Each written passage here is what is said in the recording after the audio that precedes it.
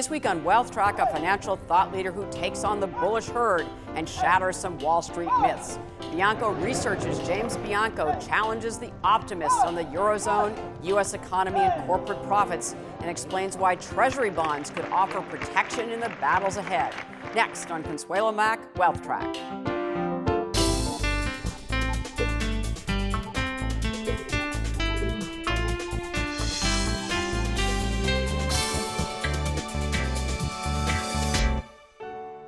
The company you keep is also the company we keep. Together, we help provide a lifetime of guaranteed income and investment solutions. Hello, I'm Consuelo Mack. I want to tell you about a new opportunity to watch Consuelo Mack Wealth Track before the program appears on public television. As a subscriber, you can see programs 48 hours in advance of the general public and also find timely interviews and commentaries exclusive to WealthTrack Premium subscribers. If you're interested, just go to wealthtrack.com for more information. Thank you.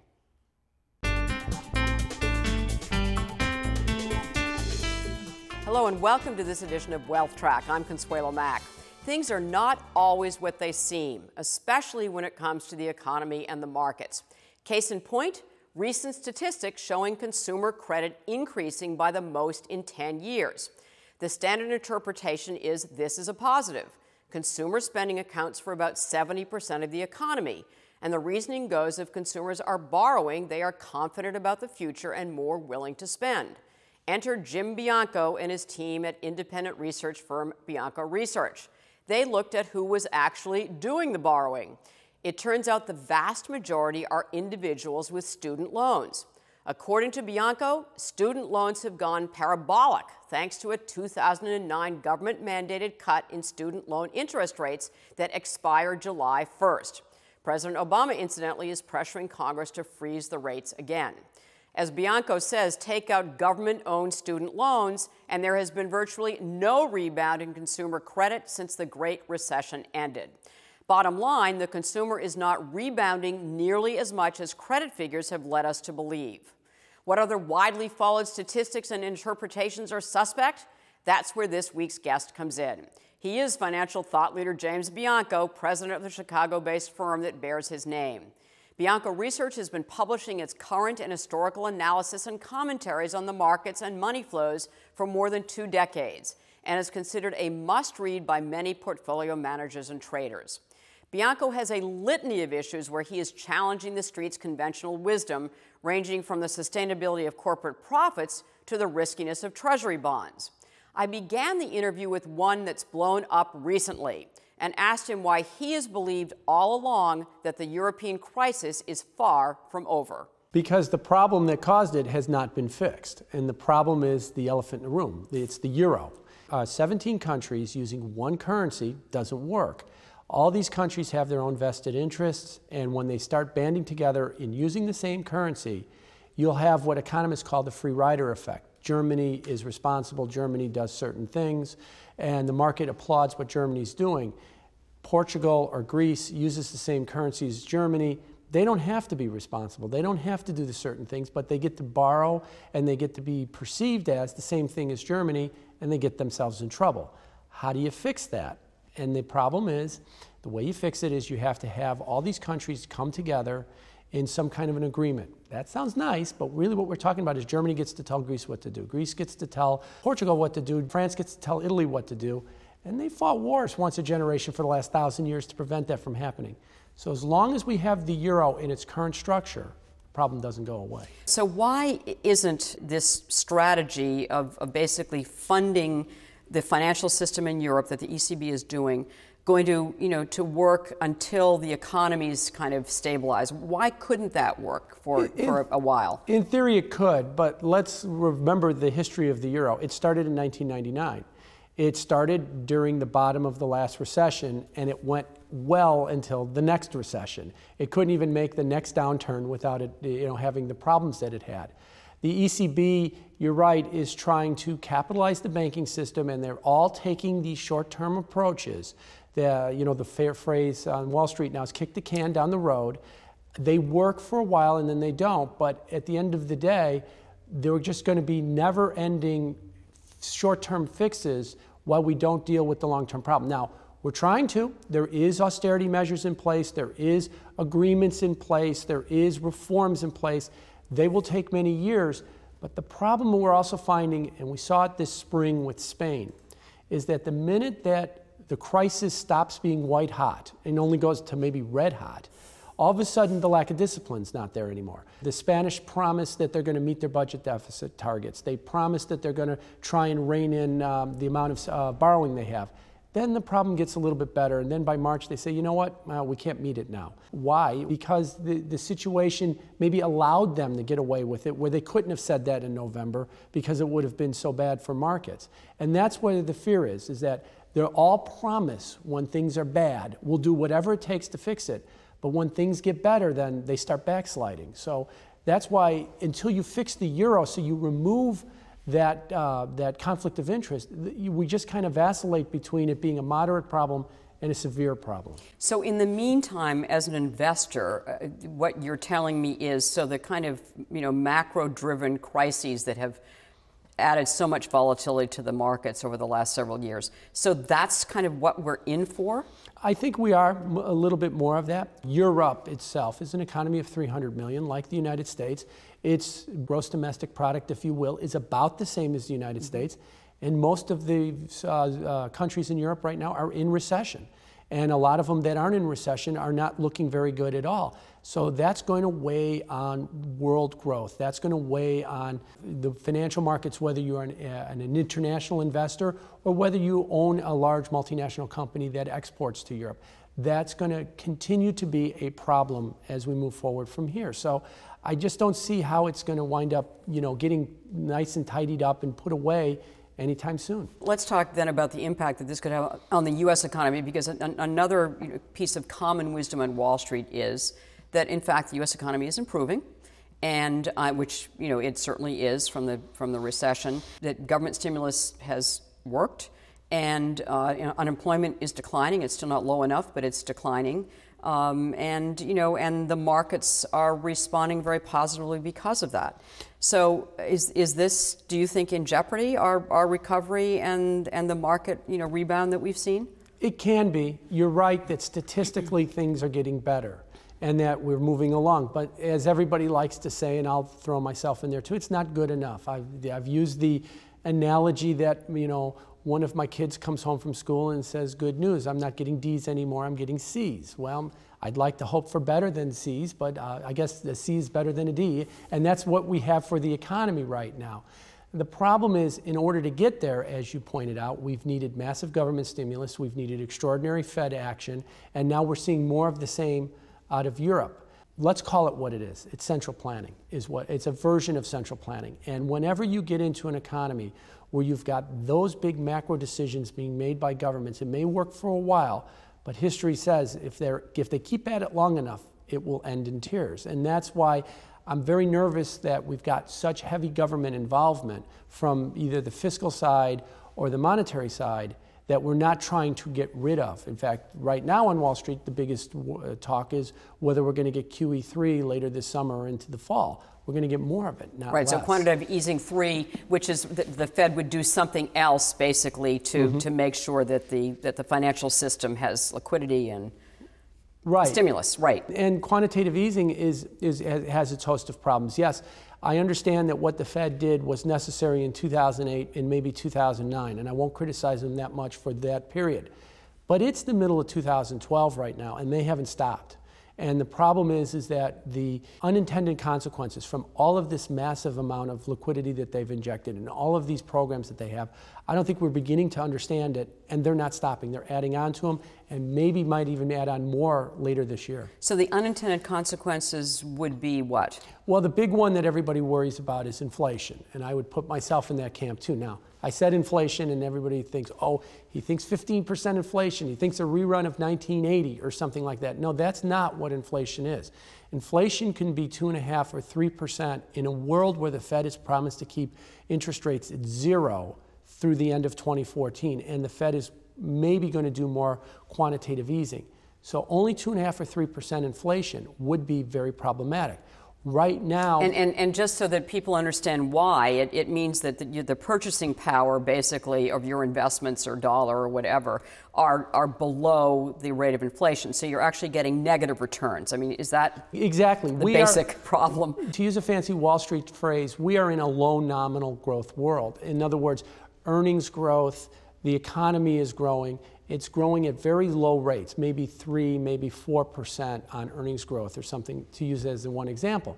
Well, if 2.5 or 3% of that's going to get eaten up by inflation, then the real growth that you're having after inflation is negligible. The metaphor I like to use there is if 140 over 90 is hypertension, we're probably at like 136 over 88 in terms of the inflation hypertension. Yes, I can go back home from the doctor and say, I don't have hypertension, but I don't have much room to spare from it right now. So at 2% core growth on inflation, we're getting very, very close to those levels.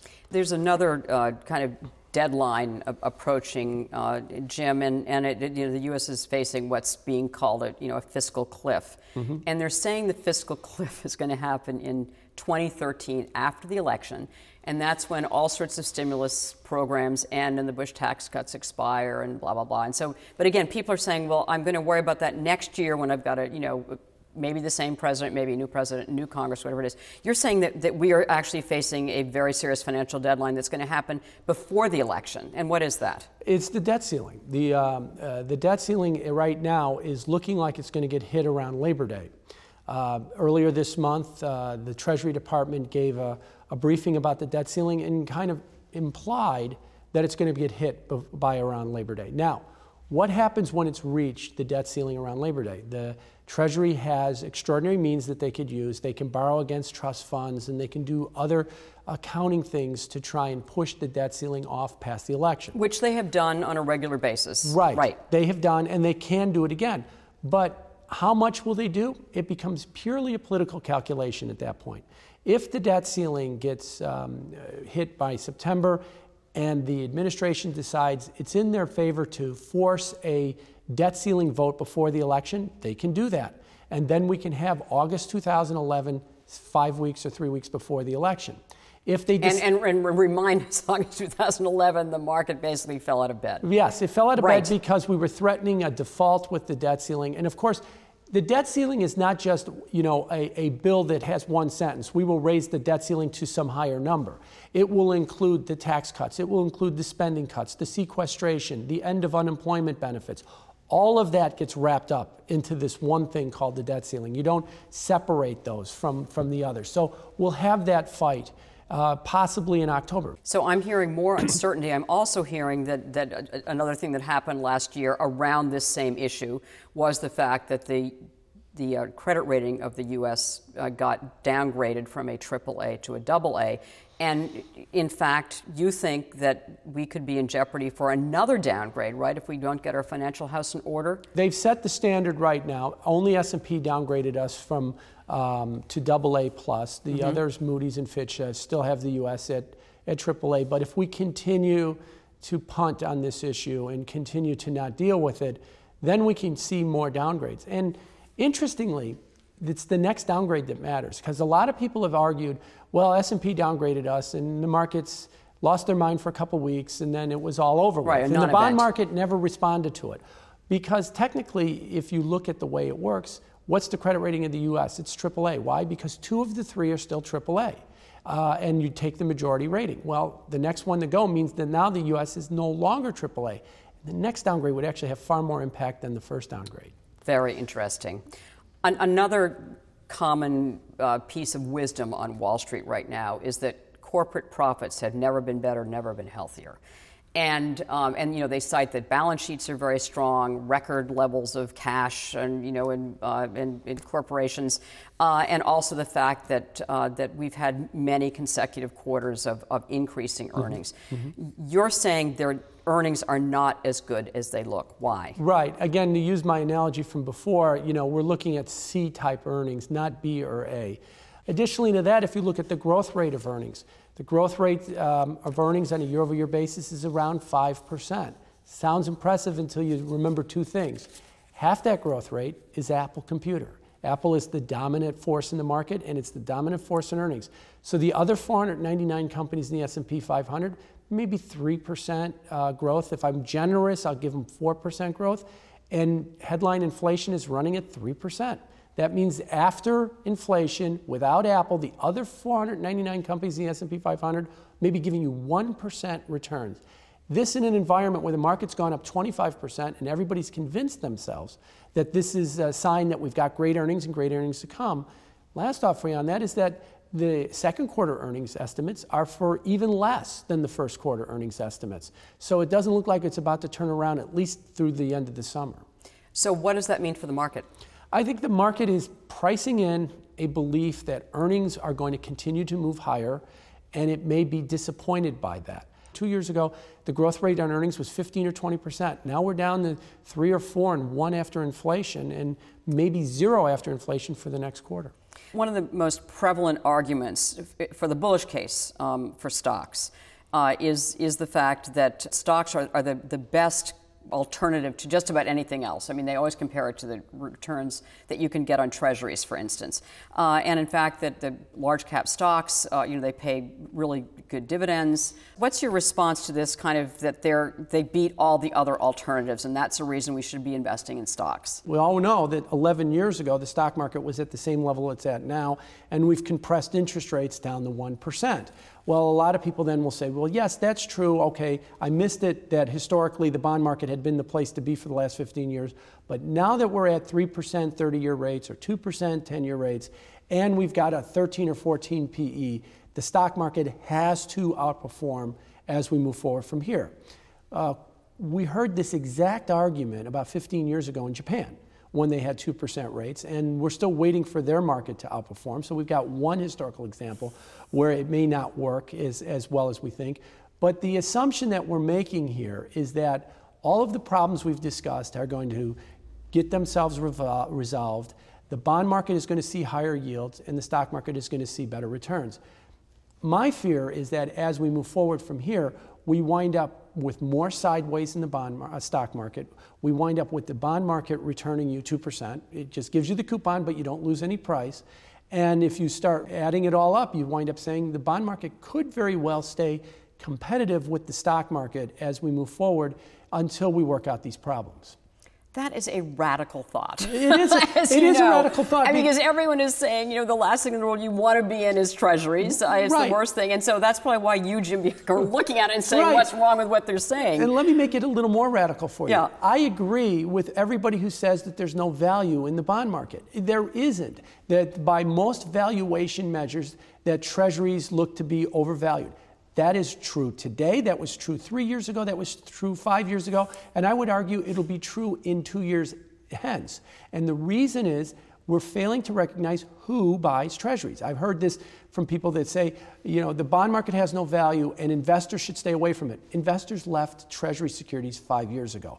All the measures of whether you look at mutual fund flows or whatever, they're not buying treasuries. Who buys treasuries? Central banks buy treasuries. The Bank of Japan, the Bank of China buys treasuries. The Federal Reserve buys treasuries with printed money that we call quantitative easing. The big banks buy them because the Fed has promised them zero financing costs. They borrow at zero from the Fed, they buy Treasury securities, they hold them to maturity on a two or three year. And so they're making a nice spread. You, you right. said it's the carry trade. Right. right, that's the carry trade. They make a nice spread. But what I'm getting at is that who buys Treasuries? The, the central banks and the large banks. And that dynamic may not change for a while. So these overvalued bond markets could very well stay overvalued for a long time. What would be the catalyst for an overvalued market to pop? Would be investors recognizing that they own an overvalued security and running away. They already left.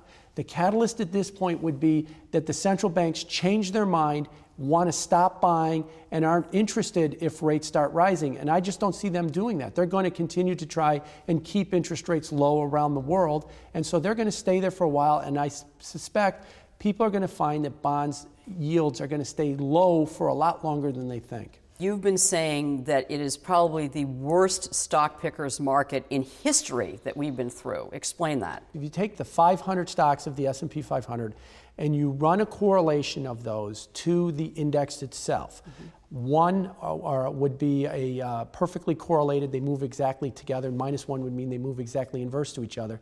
The correlations we've seen of the average stock to the S&P 500 is the highest ever. The all-time record was set actually 6 months ago, October of last year.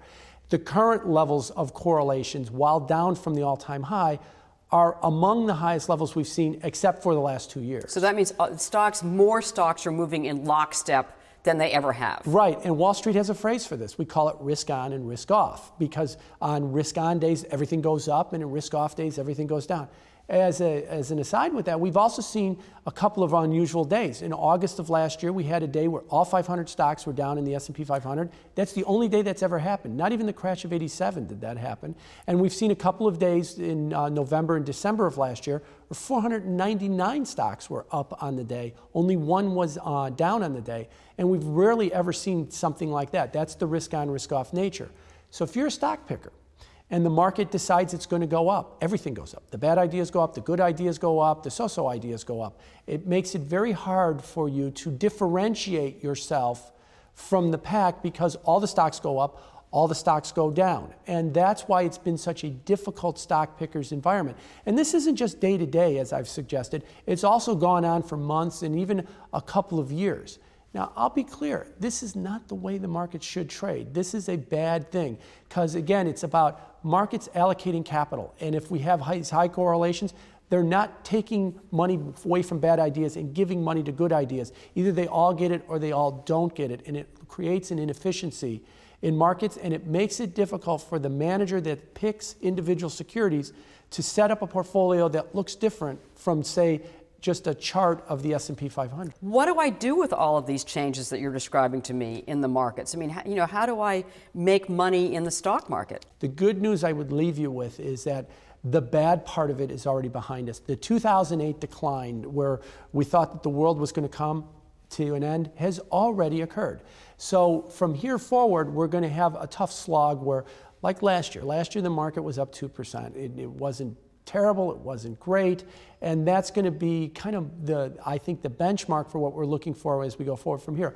Low returns, not a lot of opportunities to make a lot of money, but the good news may be not a lot of opportunities to get destroyed, unless, of course, Europe falls completely apart.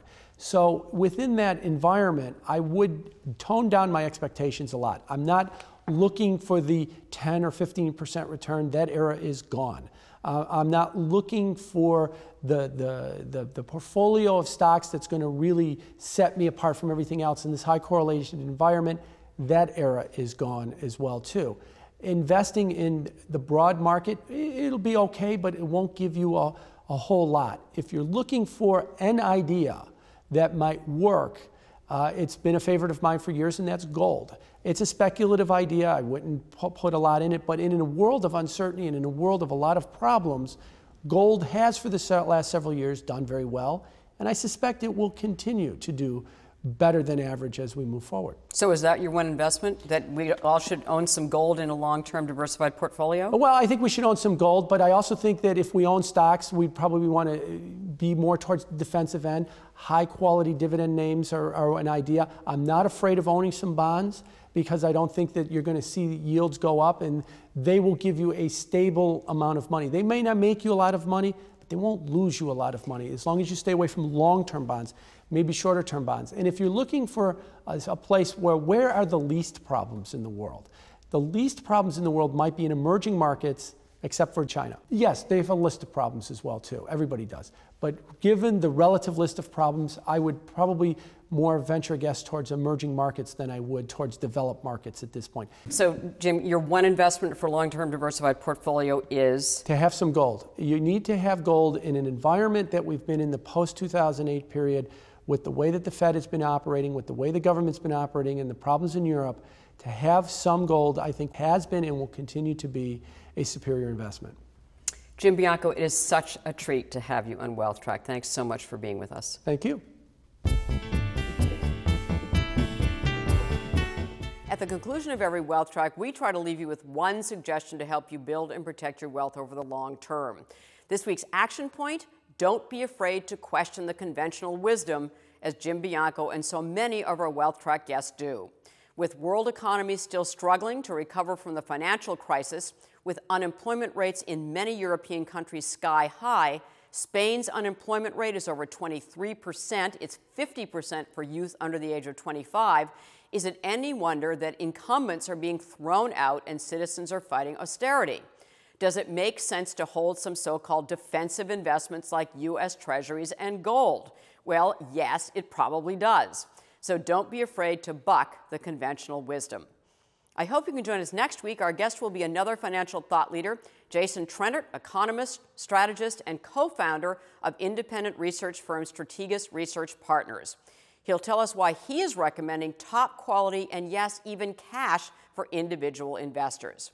If you want to see our Wealth Track interviews before the pack, subscribers can do so 48 hours in advance. To sign up, go to our website, wealthtrack.com. You can also watch previous shows and find past one investment and action point recommendations there. And that concludes this edition of Wealth Track. Thank you for watching and make the week ahead a profitable and a productive one.